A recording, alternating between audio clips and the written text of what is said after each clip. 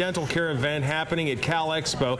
Thousands of people expected to get free dental care over the weekend. Well, hundreds of volunteers, including dozens of dentists, spend much of today helping fix smiles for free. This is the second time this event is being offered here in Sacramento, and organizers hope that an underlying message gets across to lawmakers. KCRA 3's Kevin Oliver is live for us at Cal Expo with more on that. And Kevin, how many people did they help today?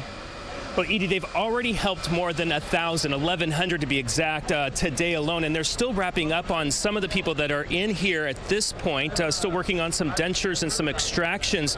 They shut the line off at about 3 o'clock today. Those people that are in here right now are just finishing up, and some state lawmakers were also here today to see just how many people need help.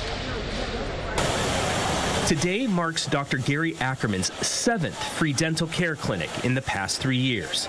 He says he performs charity work because there are too few dentists willing to work on patients with Denti-Cal insurance. I got a hug every 15, 20 minutes.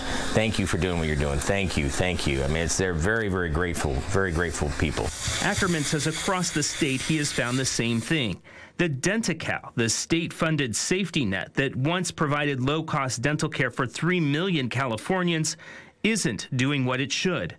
The state cut the program for adults in 2009, and while lawmakers revived the program last year, Ackerman and other dentists say it's so poorly funded that most dentists are not participating, and those that are have a backlog of patients. Then you call XYZ Dental, and they might say, yes, we do take Denti-Cal, but we can't see you for six months or we can't see you for eight months. Most dentists can't afford to take to take uh, to take Denti-Cal. We're better off doing charity. That's because the California Dental Association says the state's reimbursement rates haven't been adjusted for the times or a dentist's expenses.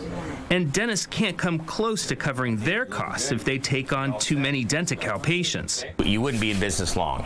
Yeah, you would be out of business before in a very short amount of time. For people on Denti-Cal or without any coverage, that wait to have a toothache looked at or a filling replaced could lead to losing teeth, periodontal disease, or worse.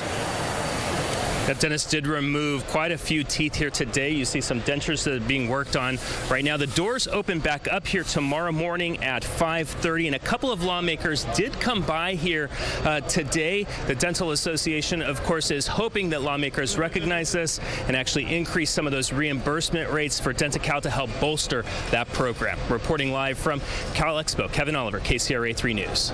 Kevin, thank you. And anyone who needs free dental care is invited to that clinic at Cal Expo. However, it is first come, first served. That event runs through tomorrow afternoon. And we're following some breaking